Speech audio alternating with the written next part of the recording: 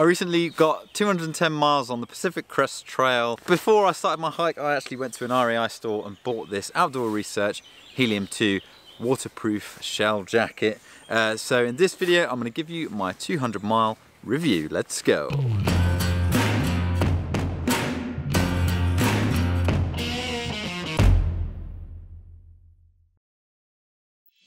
Hello, Russ here, bringing you the best tips and inspiration for hiking around the world. If hiking and world travel is your kind of thing, then subscribe to this channel for more weekly content just on that. Okay, let's go over my initial thoughts of the OR Helium 2. This thing basically put up with some incredible weather out on the PCT. Put up with snow, ice, hail, rain, uh, torrential downpours, freezing temperatures. Um, it cut the wind incredibly well. It was very waterproof for the most part. I will go into how waterproof it was in a little bit more detail during this video. But overall, yeah, really good at 127 pounds, which in US dollars cost me $159. Um, it's very pricey for a very thin waterproof shell. Uh, they claim it's quite breathable. Um, anyway, I'll go over all of that later on in this video. On their website it says it weighs in at 180 grams, but on my scales after 200 miles of usage uh, it came to this. The materials are Pertex Shield 30 denier nylon ripstop. Uh, I can't find a hydrostatic rating for this material but I assume it's pretty high. It held up pretty well to some driving rain. If I was going to put a guess on it, it'd probably be anywhere between 10 and 15,000. Uh, outdoor research, if you're watching, can you please let us know in the comment section below uh, exactly what the hydrostatic head rating is for this particular uh, ripstop nylon. The Outdoor Research Helium 2 has a waterproof coating, its seams are taped, it's got a YKK AquaGuard zips which are quite stiff to pull up on but don't get caught on anything on the inside though. It's got a fixed adjustable hood, one external zipped pocket which turns into a pack pocket. It's very small however and I wish I could fit my phone in it. You can literally put maybe your keys or your wallet, really small things in there but it, it really isn't big enough to put anything substantial or useful in there. Got fully adjustable hem and cuffs and reflective logos and a carabiner loop.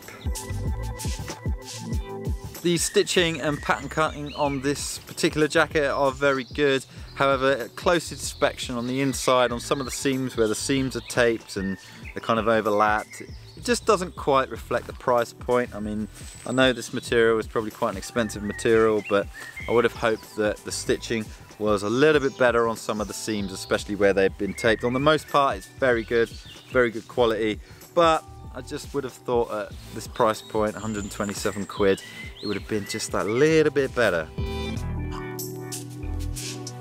I'm a 37 inch chest with an 18 inch torso. Uh, I went for a medium, which is the US medium. I'm not sure if they actually differ across different continents. I assume they do, uh, but it fits very well. It's got enough sag to kind of keep it breathable and you know I can kind of move around pretty well in it. Uh, it's not too short.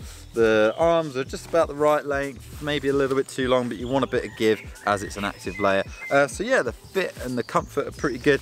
However, it does feel a little bit plastic baggy. Um, very close to the skin. The coating on the inside kind of sticks to your skin a little bit. I know that in hot, sticky weather on the PCT, uh, when I finally got down into some warmer weather, where I wasn't, if I was just cutting the wind, um, but it was really warm. This material was really close to the skin. It was actually getting quite sticky and nasty in there. So yeah, not very breathable, but it kind of goes with the territory with any waterproof shell clothing.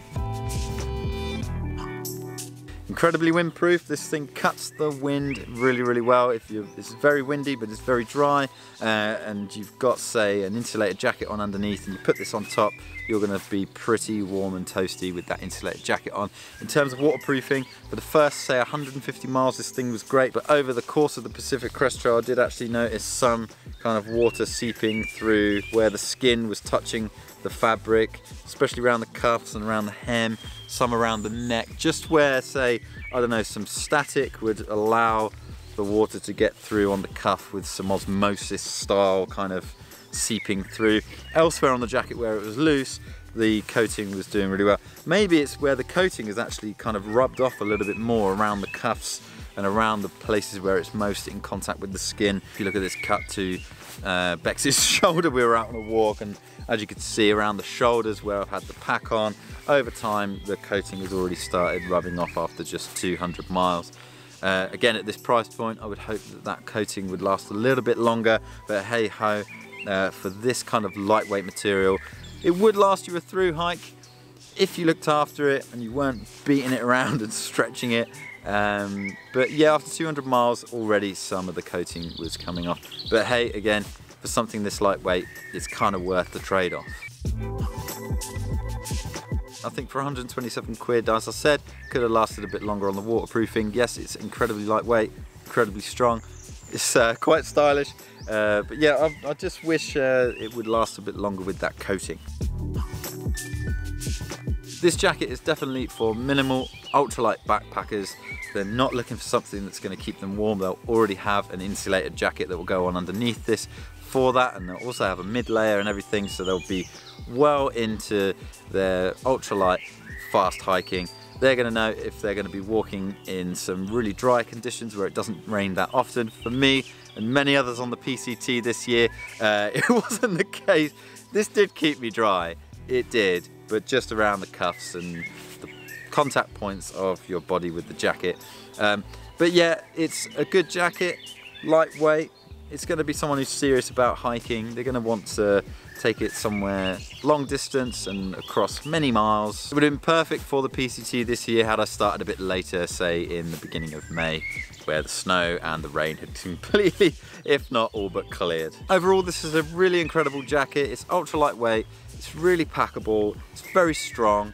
I just wish that the uh, waterproof coating on the inside would last a bit longer. A little bit of a stitching issue as well. Um, I really wish this pocket was bigger so that I could put some maps or my phone or something really useful in there. Um, it's just a bit of a kind of wasted bit of weight.